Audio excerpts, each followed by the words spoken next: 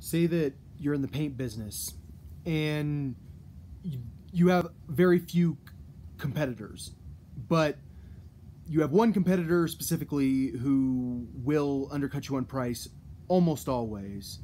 Um, and they definitely can undercut you on volume of available certain types of paint.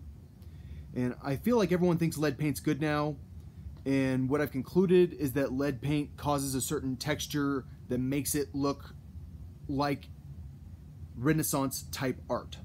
And so um, it's not necessarily that it's good, it's definitely less perfect. And so it adds an imperfection to your painting.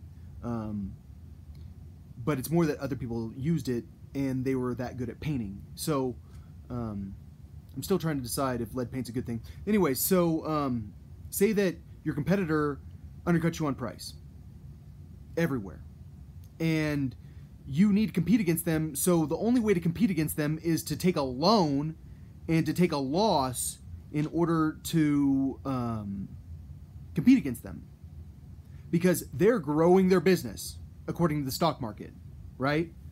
Kind of like Splunk, they're growing their business. That's why they have so much debt. Um, but the real thing about Splunk is that Splunk is about data. Splunk is the best at data, and other people can do Splunk, but not really like Splunk because Splunk's just better. And so, um, does data matter in the future? Data matters now, which makes me wonder if data is going to matter as much in the future, and I think it will. Um, but is visualized data going to matter as much? Um, I mean, or is the invisible hand going to matter more? And but I do think that Splunk does um, non-human interactive AI also. I think I don't know.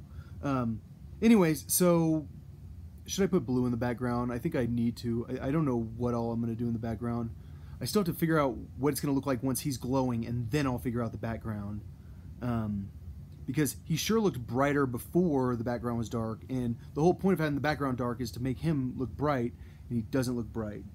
So hopefully, once I get new paint, it's gonna make a difference. Anyway, so um, what what do you do if you're a small business and your competitor has all this extra money to lose, and and they're your competition, so they're gonna beat you on price always, even though there's so few people you, you think oil paints are so expensive, um, and they are, but that's because um,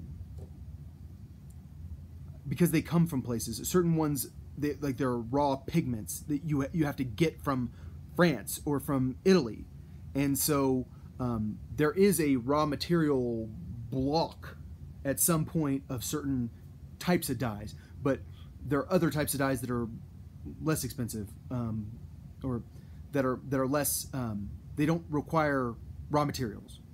Okay, so this is this is kind of a great example about the nature of the world, but also the nature of the stock market, um, where the stock market um, can't can can we leverage to the point that it's not fair anymore. I don't know because I, I feel like my bill at this other play at this other website was like shockingly low. Um,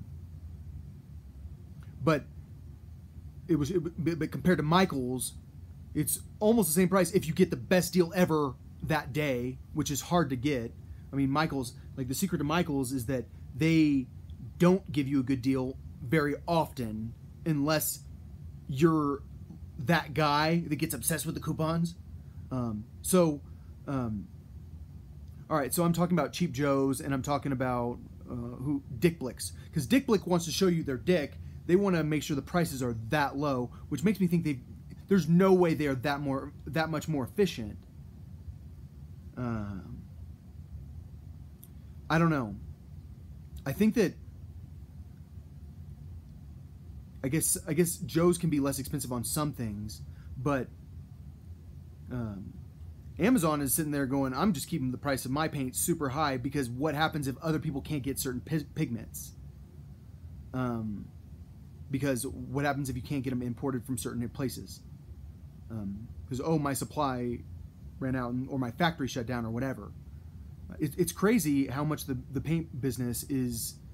Uh, back in the day, it was a, a really big business. Uh, back in Da Vinci's day, and, and but they they were painting with like a lot of the earth materials. Um, they, they they would they would look at my palette and be like, "This is I'm gonna cry because I can't believe that you have that blue, um, and you have that many blues. It's crazy."